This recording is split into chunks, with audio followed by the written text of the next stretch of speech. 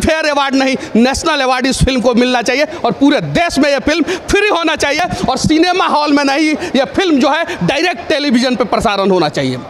Direct television पर प्रसारण होना चाहिए या तो विवेक अग्निहोत्री गलत हो सकते हैं, फ़िल्म के सारे किरदार गलत हो सकते हैं, जिन्होंने देश में जो है गलत चीज़ों को दिखाया है, उनके ऊपर कार्रवाई हो जाए, या तो वो अगर सही है तो पूरे देश के लोगों को यह फ़िल्म दिखा दिया जाए। ऑप्शन इस देश को बताया कि कश्मीर से कश्मीरी पंडितों को भगाया गया था। अगर मीडिया ने उस दिन बता दिया होता कि कश्मीर से कश्मीर में रहने वाले हिंदुस्तानियों को भगाया गया था तो शायद जो है आज कश्मीर की कहानी कुछ और होती। एक कहानी अगर आज हमने नहीं बताई तो फिर मैं मीडिया वाला नहीं, एक पोस्टमैन कहलाऊँगा। मैं यहाँ पे फन सिनेमा में द कश्मीरी फ़ाइल फ़िल्म देखने आया था।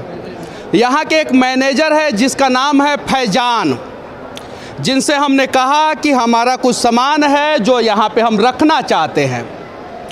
जब उन्हें पता चला कि हम द कश्मीरी फ़ाइल फ़िल्म देखने आए हैं तो उन्होंने मना कर दिया और हमारा सामान यहाँ पे नहीं रखने दिया। जबकि इस देश के किसी भी कोने में, किसी भी मल्टीप्लेक्स में अगर आप जाते हैं, और मैं भी इस देश के अनेकों कोने में, अनेकों मल्टीप्लेक्स में गया हूँ, अगर आपके साथ कोई भी लगेज होता है या कोई भी बैग होता है तो आप सुरक्षित जो है यहाँ पे रख सकते हैं। लेकिन जो यहाँ के मैनेजर साहब थे, उन्होंने नहीं रखने दिया। और यही खामोशी, यही मौन, कहीं नहीं तो कहीं 1990 में पाँच लाख कश्मीरी पंडितों पे भारी पड़ गया क्योंकि मीडिया ने मीडिया का काम ना करके पोस्टमैन का काम किया था। और मैं पोस्टमैन नहीं बनना चाहता हूँ, मैं मीडिया वाला बनना चाहता हूँ और मैं जो हकीकत है, वो दिखाना चाहता हूँ। कहाँ ये नियम है कि आप अपना सामान जो है यहाँ पे नहीं रख सकते हैं? एकदम रख सकते हैं। कैमरा मैं अंदर नहीं लेके जा सकता क्योंकि मैं अगर शूट करूँगा तो वो फ़िल्म का जो नियम होता है, उसका वायलेंस कर दूँगा।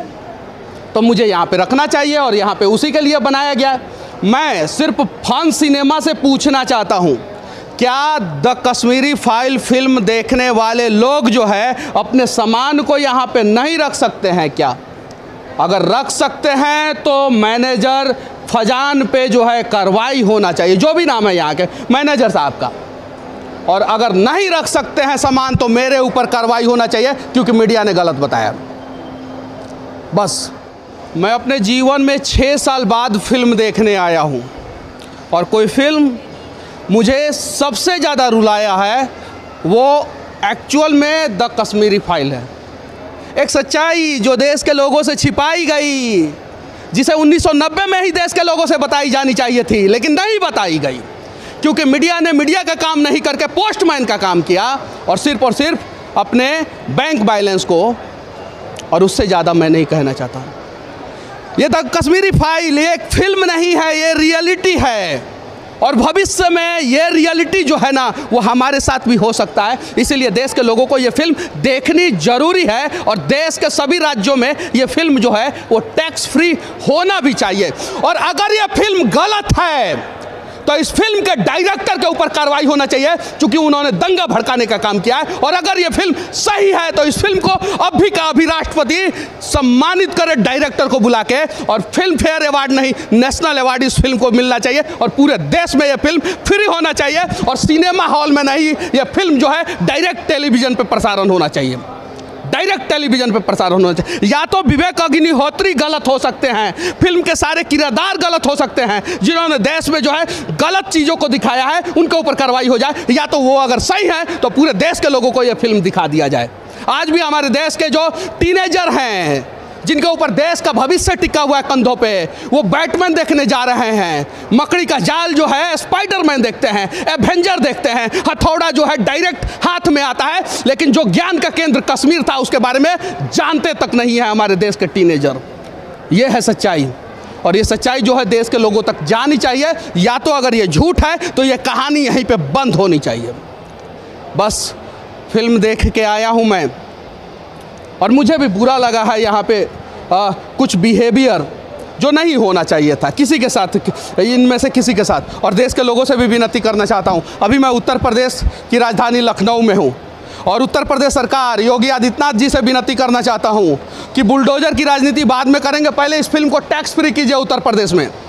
और उत्तर प्रदेश में ही नहीं, पूरे देश में ये फ़िल्म टैक्स फ्री होना चाहिए और टेलीविज़न पर डायरेक्ट दूरदर्शन पर प्रसारित होनी चाहिए। जैसे रामायण को प्रसारित किया गया, महाभारत को प्रसारित किया गया, वैसे इस फ़िल्म को प्रसारित किया जाए। उत्तर प्रदेश के मुख्यमंत्री के साथ साथ मैं देश के यशस्वी प्रधानमंत्री श्री नरेंद्र दामोदर दास मोदी जी से भी विनती करना चाहता हूँ। उत्तर प्रदेश के चुनाव के बाद गुजरात का प्रचार करने चलेगा। उससे पहले जो है, द कश्मीरी फ़ाइल को टैक्स फ्री कीजिए पूरे देश में। ताकि जो है इस देश के लोग जो है सच्चाई को जान सके। आ, हमारे साथ आ, एक कश्मीरी पंडित हैं। इसमें कम से कम 20-20 सौ चलना चाहिए फ़िल्म तीन से चार पाँच छः उससे ज़्यादा नहीं। एक और बात मैं कह देना चाहता हूँ। कश्मीर से कश्मीरी पंडितों को नहीं भगाया गया था, कश्मीर से हिंदुस्तानियों को भगाया गया था और मीडिया ने गलत परसेप्शन इस देश को बताया कि कश्मीर से कश्मीरी पंडितों को भगाया गया था। अगर मीडिया ने उस दिन बता दिया होता कि कश्मीर से कश्मीर में रहने वाले हिंदुस्तानियों को भगाया गया था तो शायद जो है आज कश्मीर की कहानी कुछ और होती। बस बाकी द कश्मीरी फ़ाइल।